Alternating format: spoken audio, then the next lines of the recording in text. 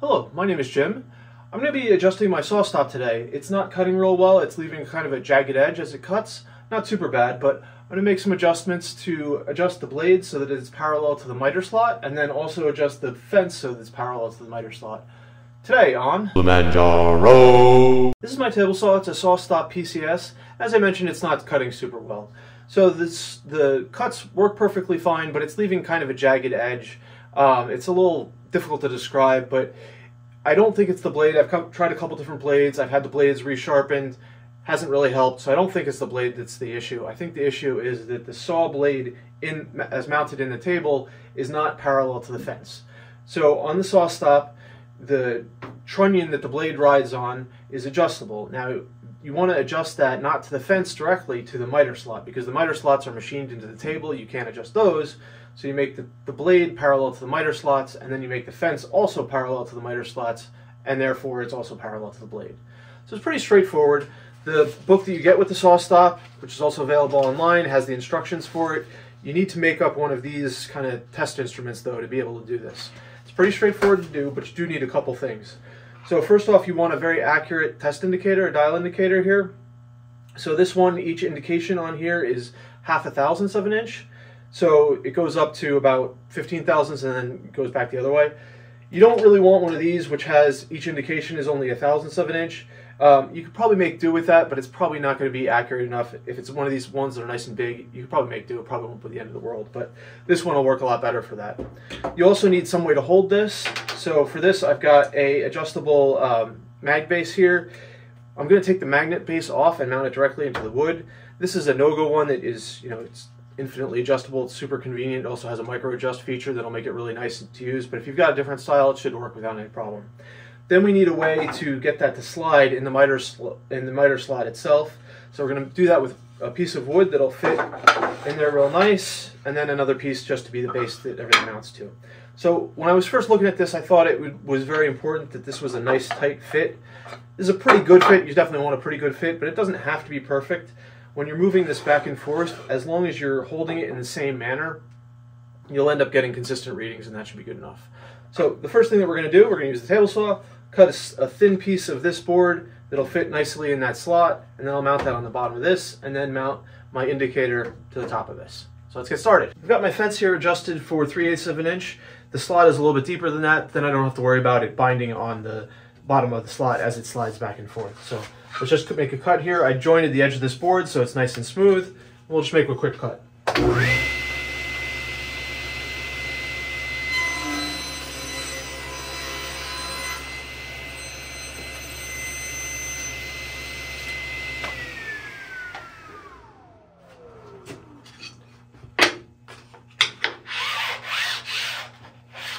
So my strip here is going to sit in the middle of this board here.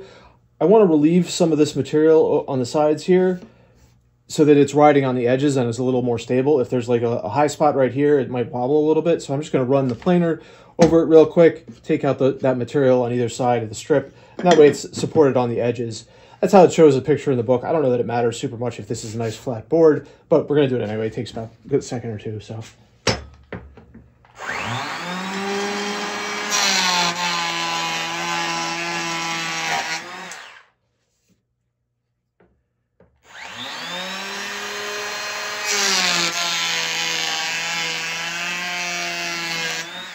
Right, now I just have to screw this in. I'm going to screw it in from the bottom here. Just use some little three-quarter inch screws. There's not going to be a real load on this, so it doesn't really matter. I'm just going to use a square to make sure it's straight and centered here.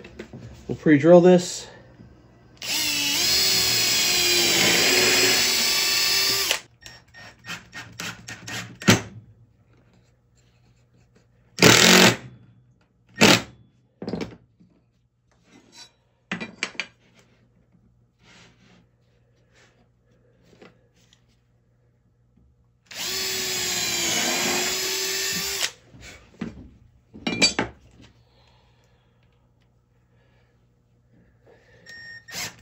This slides in here real nice. There's a little bit of play in here, but like I said, as you make the measurements, if you just continually twist it in one direction, just apply a little bit of force, should work out just fine. So it doesn't need to be exactly perfect.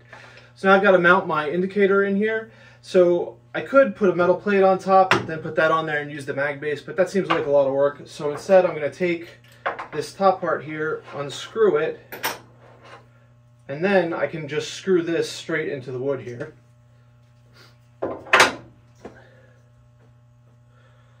This happens to be a M8 by 125 uh, thread on there, so I'm just going to drill this in the center.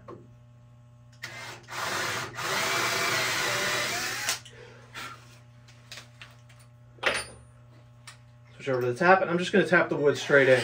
For this, it'll be just fine. Those threads will hold just perfectly.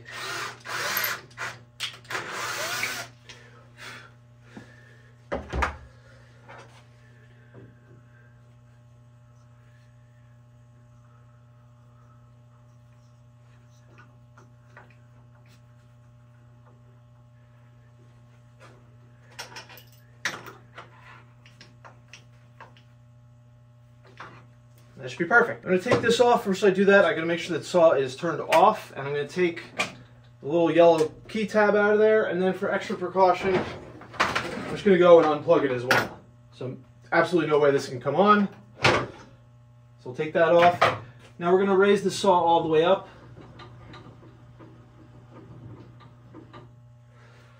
And you want to use a nice thick blade. I have a thin kerf blade and I found that that's a little flexible and it it doesn't work as well to do the, the this measurement adjustment with. So now we're going to just adjust this so it falls on the other side.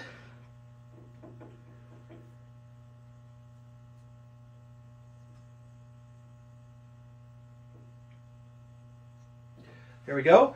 Now you want this to be down as low as possible so you have as big an area to, to sweep across as you're doing this.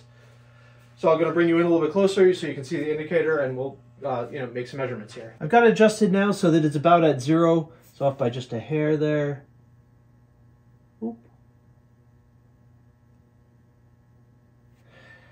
I've got it adjusted so it's at zero on the one end of the blade. And now as I slowly sweep across,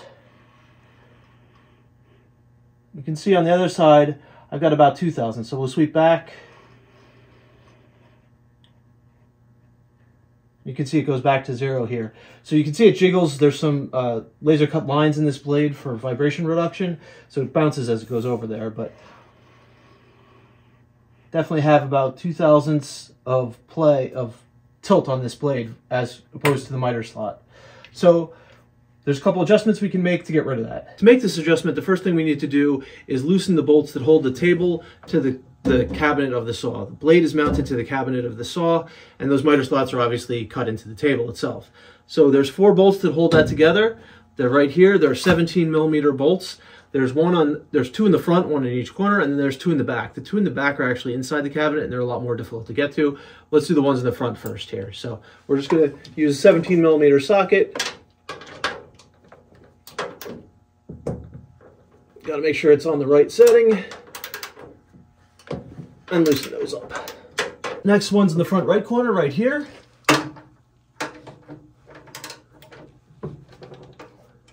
Okay, there we go. The next one is back here. It's actually inside the cabinet, so it's quite difficult to get to. The blade is really in the way here.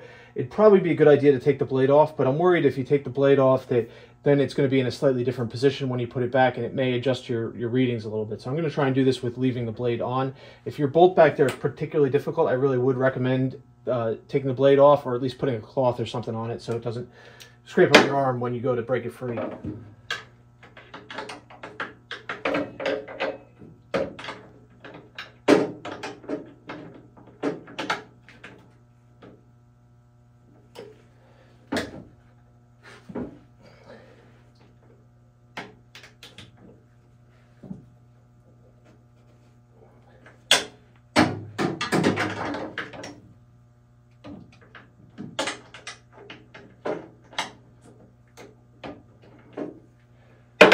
Right, there you go. The last bolt is in the back corner there. To get to it, we've got to tilt the table saw to about 30 degrees.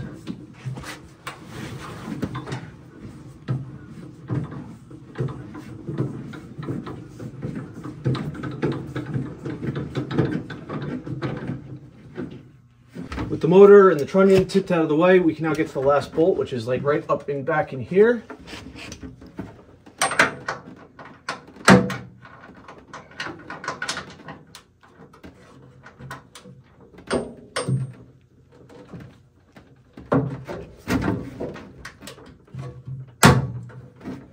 Right, there we go. With those four bolts loosened, we're free to actually adjust the table itself. Now the table is held in place with a pin in the front, and then there's two set screws in the back in each corner that adjust the position of it. So those are five, those set screws take a five millimeter wrench, and if you want to move it, turn it like this, you loosen this one, and then you can tighten this one, and it'll slowly shift this way. Same with the reverse. If you want to turn it this way, you loosen this one a little, and then tighten this one and that way you can have pretty good control over how much it's moving and also know that it's going to be in that definite position and when you tighten those four bolts down again it shouldn't shift its position at all. Now, this is quite fiddly. Um, it took me a couple different tries of adjusting the screws in each corner, measuring it, adjusting the screws again, bolting it down, measuring it, unbolting it, adjusting the screws a little bit more, bolting it down until I was finally able to get it to a good level of parallelism between the blade and the miter slot itself. Up in the back here is where that positioning screw is. Unfortunately, it's too far in for the short end of my Allen key, so I have to use this one here, and then I needed to use a pair of pliers to actually loosen this. But that's where it goes in, and then you just tighten and turn those. After quite a bit of fiddling, I've gotten it so that there's maybe a maybe a half a thou a variation from the front of the back blade to the back of the blade. So I'm quite happy with that. There are a lot of other adjustments you can make on the table saw. The insert here, making sure that it's all nice and level and flush with the top, you just adjust these four screws. That one's pretty straightforward. You can also adjust the tilt mechanism, the stops for it and everything. Haven't found that to be too much of an issue though, so I'm not gonna go over that. Next one that kind of goes with the adjusting the miter saw, uh, miter slots and the blade though is to adjust the fence. So the miter slots are now nice and parallel with the blade. Now we want to make sure that when you lock the fence down that it's parallel with the blade as well. So this fence rides along on this square tube in the front here and it just clamps down on the front tube here. There's nothing in the back that it clamps to. So to adjust it, it's pretty straightforward. There's two screws right here, one on each this side and one on the other side, and you can just tighten and loosen those until it's adjusted properly.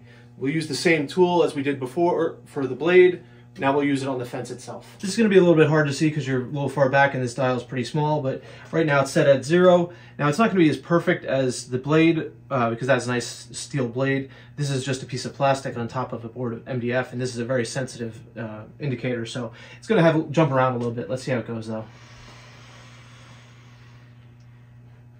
So you can see I've got maybe 12 and a half thou worth of uh, off angularity, we'll call it. So I've got to make a little bit of adjustment here and then we should be able to get that lined up nicely so there's none as we slide it back and forth. All right, after adjusting it, it's now at about zero. You can see it jumps around a little bit there. It stays pretty much at zero as we go all the way down. It ends pretty much at zero. So pretty happy with that. So now that I've got everything adjusted, my saw should be nice and set up. So the table is now aligned with our blade and the fence is now aligned with the table and the blade.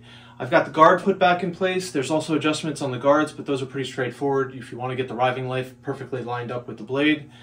You shouldn't really have to make any of these adjustments beyond the initial setup of the saw unless you happen to move it or you know whack it with something heavy, another piece of equipment or something like that, then you may want to check to make sure that the uh, everything is still adjusted nicely. So it's time to make a little test cut. I got the power back on, turned it on. Let's do, let's try it out.